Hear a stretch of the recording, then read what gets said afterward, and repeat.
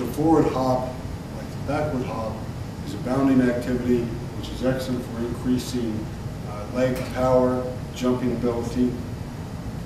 And uh, again, I want to keep my elbows in tight. I don't want them wide. I want them to assist in the jump and not detract from the jump.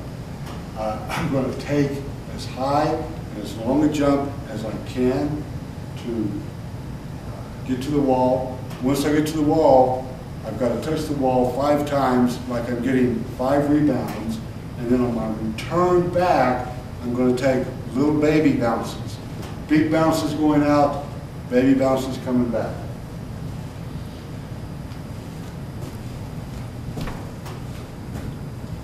One, two, three, four, five.